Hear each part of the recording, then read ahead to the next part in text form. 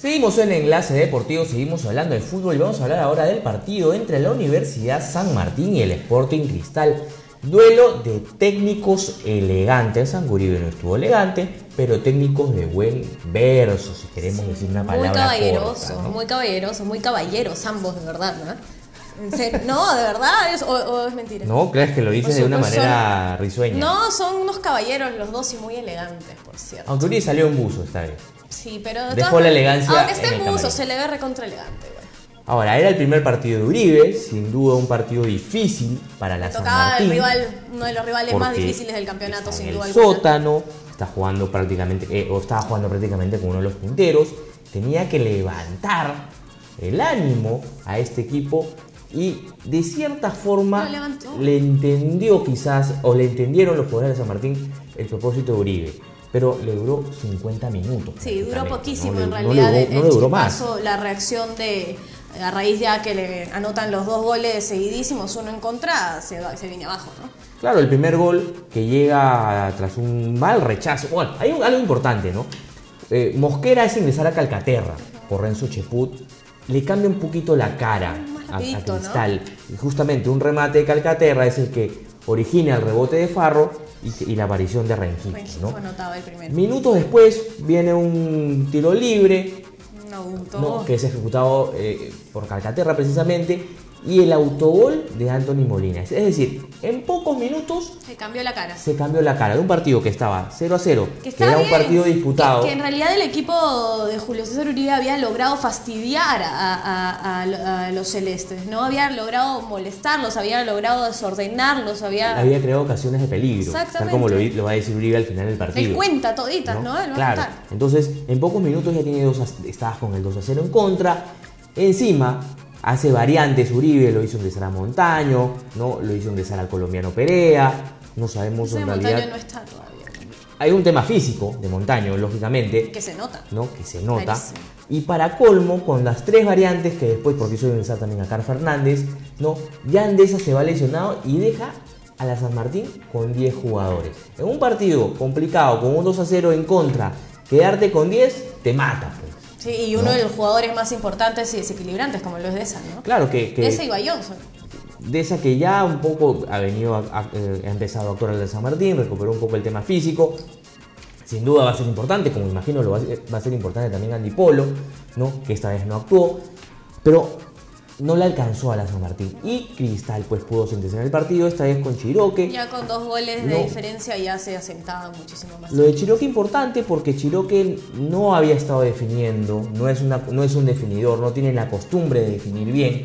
Esta vez lo hizo, ¿no? lo hizo bien, definió bien, marcó el tercero. Los que sin 87 duda le da confianza a Chiroque para pues seguir anotando, para seguir jugando o teniendo más minutos. Y ya ¿no? sí, ya se era, era claro dominador, ¿no? El equipo rimense. De cierta manera, Cristal sentenciaba un 3 a 0. Injusto, no se sabe porque el fútbol es con goles. Bueno, pero al final, por eso te como te decía en el comentario de Alianza, el, el fútbol se gana con goles. Si juegas bien, bueno, puedes aplicar la teoría de jugar bien y ganar bien. Yo no sé hasta Pero- qué más se puede dar licencia a San Martín de dejar ir puntos, ¿no? No, es que la San Martín ya no puede Ya no más. puede darse licencias en realidad. Puede que recupere anímicamente, puede ser que esté, que venga muy bien, que sea, pero quizás si hablamos tres, cuatro fechas antes, podíamos esperar que vaya avanzando, ¿no? A estas alturas hay que ganar. Por eso, y eso además lo entiende Julio César Uribe, a quien vamos a escuchar una vez finalizado el partido. Aquí las declaraciones. El fútbol no es de un tiempo, es de dos. En el primer tiempo de igual a igual, cuatro posibilidades de gol, ellos tres, jugando bien. Y el primer gol de Cristal nos cambia el rumbo de lo que pretendíamos, la lesión nos elimina totalmente alguna posibilidad. Y felicitar a Cristal porque nos ganó bien. primer tiempo estuvimos inconexos, porque también el, el rival no nos dejó jugar, ¿no? Ah, creo que fuimos justos vencedores, creamos chances el primer tiempo como para irnos adelante del marcador, pero nada, al final pudimos concretar las ocasiones que tuvimos, ¿no? Creo que haciendo lo, lo del primer tiempo vamos a salir de esta situación, pero hay que, hay que mantenerlo. Tuvimos errores eh, cuando arrancó el segundo tiempo y, y ahí se complicó el partido. No, todo bien, todo bien. Por ahí el grupo creo que está de la mejor manera, trabaja para eso y eso es lo más importante, que, que la- las ganas estén ahí, siempre como dentro o fuera de la cancha, que nunca se pierda esa, esa actitud y seguimos luchando por, por ganarnos un lugarcito. Imposible hacerse fuerte en cuatro días. Con deficiencias, en función de acá de la pregunta del amigo, el tema anímico. Hemos trabajado muy bien estos cuatro días. El tema anímico se recuperó ya, pero hay inconsistencia en otros aspectos que es imperativo trabajarlo nada más. Entraste bien, Horacio, ¿verdad? Reemplazaste a Chepoy, cambió la cara del equipo Cristal. Bueno, gracias a Dios siempre uno trata de, de entrar y, y dar lo mejor y bueno, gracias a Dios, como te digo, salió. Ahora mantener la punta. Sí, sí, siempre trabajamos para eso y para hacer bien las cosas el fin de semana y bueno, como te digo, ahora se nos están dando los resultados y, y la verdad que con buen, buen juego. Creo que fue fundamental, ¿no? Su ingreso fue entró, le dio otra otra dinámica al equipo y eso permitió más espacios para nosotros. ¿Qué le dio Calcaterra que quizás en el primer tiempo no le dio? Nos dio, nos dio, no, no, no es este contra Cheput, es a favor de Calcaterra en el sentido de que primero eh, necesitamos mayor marca y después eh, con la dinámica que tiene abrió el camino para los de adelante tener más espacio. ¿no? Muchas gracias.